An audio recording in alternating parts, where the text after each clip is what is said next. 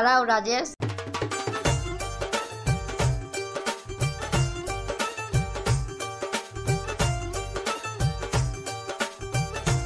এ আলিফ একটু চা করে দাও তো। আমি চা করতে পারব না তুমি চা করে খেয়ে নাও আমার অফিসে দেরি হয়ে যাচ্ছে। এ ওয়েট ওয়েট ওয়েট ওয়েট আজকে তো সানডে আজকে আবার কিসের অফিস আমার লাইফে আমি এত অফিস করলাম কখনো সানডেতে জীবনে অফিস করিনি। হ্যাঁ তুমি ওইসব বুঝবে না। বস আজ আমাকে পার্সোনাল মিটিং এর জন্য A few ডেকেছে। moments তুমি চাটা করে খেয়ে নিও আসছি। বুঝলাম না তোমার কি বস আর কি অফিস দেখ ভালো লাগছে না আমিও ঘুরে আসি।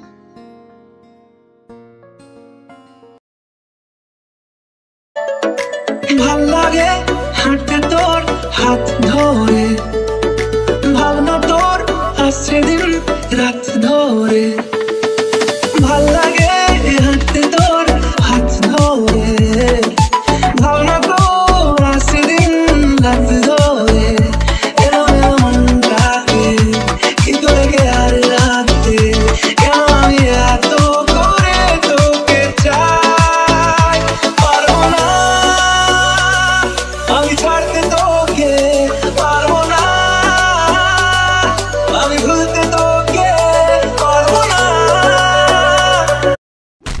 সরি সরি আলিফা তুমি এখানে? আ তুমি এখানে? আলিফা তুমি ওনাকে চেনো নাকি? না মানে না। ও আর আমি একসঙ্গে পড়াশোনা করেছি। অনেকদিন পর দেখা হলো আর কি। ও আমার ফ্রেন্ড ও আচ্ছা কেমন আছেন? হ্যাঁ আমি ভালো আছি। হ্যালো আমি রাজেশ। আমি live. Nice to meet you thanks তো আলিফা তুমি বিয়ে করে নিয়েছো? আমি তো কিছুই জানতে পারলাম না। এটা আপনি কি বলছেন? আমি ওর বর না আমি ওর বিয়ে। আমরা এখনও বিয়ে করিনি। ও আচ্ছা। তো আপনারা এখন কোথায় যাচ্ছেন? এই তো একটু সামনের দিকেই যাচ্ছিলাম। আচ্ছা আপনারা যদি কিছু মাইন্ড না করেন আমি কি আপনাদের সঙ্গে আসতে পারি? না মানে অনেক দিন পর আলিফার সঙ্গে দেখা হলো তো। একটু ঘোরাও হয়ে যেত আড্ডা দেওয়া হয়ে যেত এই জন্যই বললাম। Okay no problem. You can join us চলুন।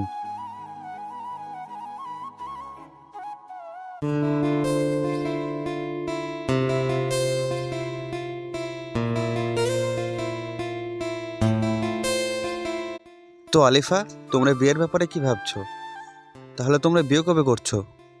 না মানে না। না মানে রাজেশ ভাই আমরা এখনও কোনো প্ল্যান করিনি। তবে খুব তাড়াতাড়ি আমরা কিছু একটা করব।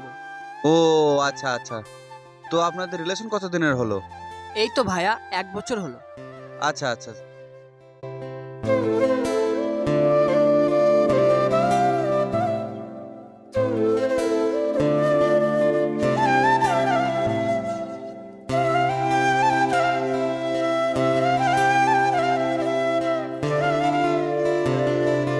আলিফা তুমি চুপ কেন?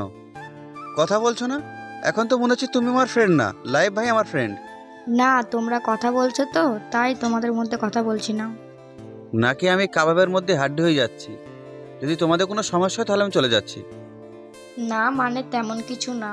আরে ভাইয়া ওসব ছাড়ুন। তো বলুন আপনার লাভ লাইফ কেমন চলছে? আমার আর লাভ লাইফ বলতে কিছুই নেই ভাই। মানে? কিছু বুঝলাম না ভাইয়া। আই এম ম্যারেড কেন আলিফা আপনাকে কিছু বলেনি? ও তো তিন বছর আগে এসেছিল আমার বিয়েতে। ও আচ্ছা আপনি বিবাহিত? তো বলুন আপনার ম্যারেড লাইফ কেমন চলছে? আমার আর ম্যারেড লাইফ বলতে না কিছুই রইল না। খুব শীঘ্রই আমাদের মধ্যে ডিভোর্স হতে চলেছে। ডিভোর্স কিছু বুঝলাম না ভাইয়া। একটু খুলে বলুন তো।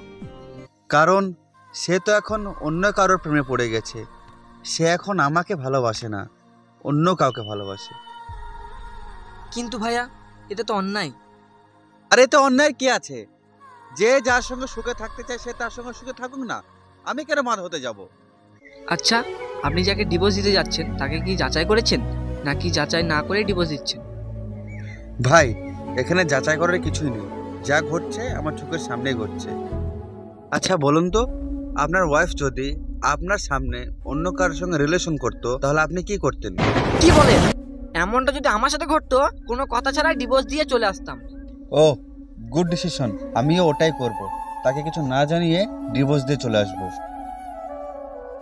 আচ্ছা ভাইয়া আপনার সাথে কথা বলে বুঝতে পারলাম আপনি অনেক ভালো মনের মানুষ। কিন্তু ভাইয়া আপনার সাথে যে মেয়ে সংসার করতে পারেনি সে কোথাও পারবে না। আর আপনার সাথে ডিভোর্স নেওয়ার পর সে সারা জীবন পস্তাবে। পস্তাবে না সুখে থাকবে। এটা আমি সময়ের ওপরে ছেড়ে দিলাম। সময় তার বিয়ে মানে শাস্তি ঠিকই একদিন দেবে। আচ্ছা ঠিক আছে। অনেক তো কথা হলো। আপনারা আড্ডা দিন আমি একটু আসি। আবার অন্যদিন কথা হবে। ঠিক আছে আসেন। লাইভ তুমি এখানে দু মিনিট ওয়েট করো আমি ওনাকে রাস্তা অব্দি এগিয়ে আসছি।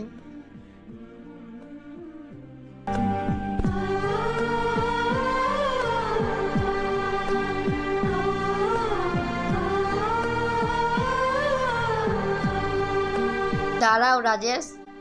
আমার ভুল হয়ে গেছে আমাকে ক্ষমা করে দাও। আমি আর এরকম ভুল কখনো করব না। প্লিজ ক্ষমা করে দাও। Please please please. থাক আলিফা আমার কাছে তোমাকে ক্ষমা চাইতে হবে না। এখানে ক্ষমা চাওয়ার মতো কিছুই হয়নি। আসলে তুমি তোমার ভালোবাসা খুঁজে পেয়েছ। তুমি যেখানে সুখে থাকতে চাও সেখানেই থাকো। এতে আমার কোনো আপত্তি নেই। প্লিজ রাজেশ তুমি আমাকে এভাবে বলো না। আমি তোমাকে ছাড়া থাকতে পারব না। না আলিফা আমি তোমাকে অনেক আগেই হারিয়ে ফেলেছি। নতুন করে তোমাকে আমি জড়াতে চাই না। তুমি যার সঙ্গে সুখে আছো, তার সঙ্গে সুখে থাকো। আমি দোয়া করব। আসছি। না রাজেশ, তুমি আমাকে ছেড়ে যেও না। আমি তোমাকে অনেক ভালোবাসি। তুমি আমাকে ক্ষমা করে দাও, প্লিজ প্লিজ প্লিজ। আমি তোমাকে ছাড়া বাঁচতে পারব না।